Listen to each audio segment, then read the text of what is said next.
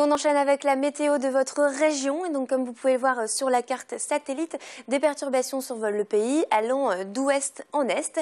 Mais heureusement, la région est épargnée par les précipitations. Effectivement, on a retrouvé un ciel plutôt dégagé aujourd'hui. Et ce soir, des températures donc plutôt fraîches, avec 1 degré sur la métropole.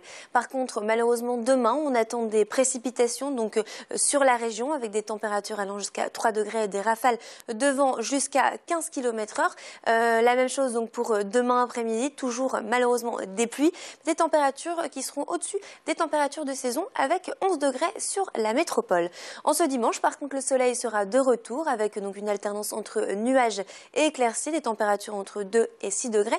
Euh, pour ce lundi également, donc du soleil, donc c'est plutôt un début de semaine, un bon début de semaine qui nous attend.